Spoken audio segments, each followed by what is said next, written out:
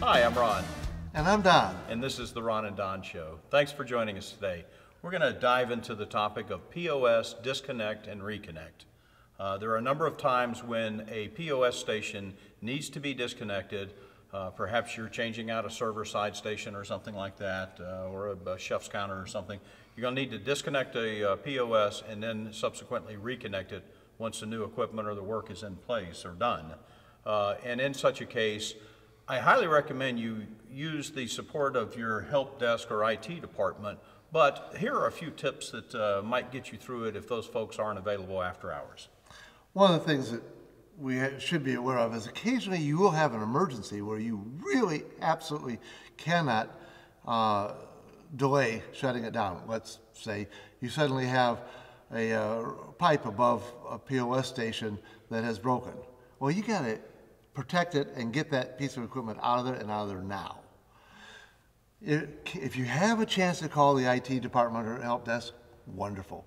If you, if it's not an emergency, you can schedule it in advance and have their people come in and do it, even better. Never expect that if you're doing the work yourself, that the standard cabling layout for all the different colored wires in there will be followed by every technician that was before you. the only thing standard is there is no standard. So label very carefully each color wire for each port that it's, it goes to or plug, and then shoot pictures of that labeled before you even take it apart. Mm. And then which unit it goes to. Shoot a picture of the unit it goes to and where it goes back to. So you can keep the piece of equipment, the cabling, the right sequence of the cabling, and the location of the equipment all in place, especially if you're replacing, moving several things, uh, several screens, printers, uh, and or terminals. Now, if you have to power down, or if you have to take a piece of equipment out, you need to power it down first. Don't take it out powered up, you're gonna cause all kinds of problems. I think too, it's important to note that uh, many POS systems also are designed with a master and a number of slave terminals. The slave terminals are a little bit easier in most cases to take down, but if you ever need to disconnect and reconnect a master, I highly recommend that you get the IT or support function uh, on the phone and get them to walk you through that. Oftentimes, that master uh, POS syst- or unit has been in the bar or in the server alley, and that collects all of the information from that day's sales, which will uh, go directly against uh, the inventory because you've cooked that food and served it, and it has recorded that, and that goes against the A versus T for inventory.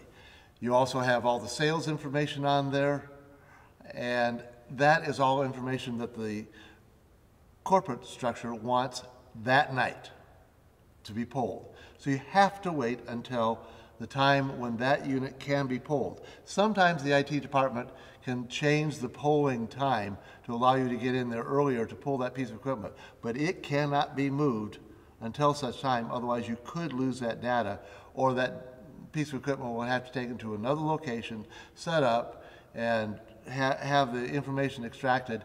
And it's highly confidential information for most companies, so leaving those masters alone until they're, it's ready to be polled is critical. Now we have some operational things that you have to worry about. Once you fire up uh, the systems, you've got it all done, make sure that operations comes in a little bit early and they can run some dummy checks through the system to make sure that that screen over there eh, at the broil station is getting the orders that that comes in and it's not going over to the salad person. Or the bar is getting the drink orders and it's not being lost in the system. Make sure that they do a bunch of dummy orders, that everything is working before you walk away from it for the day. And the same holds true for printers as well. All that stuff needs to be tested, Correct. and, and preferably before the restaurant opens for lunch. Exactly. I'm Ron. And I'm Don. Thanks for joining us today as we talk about POS, disconnect, and reconnect.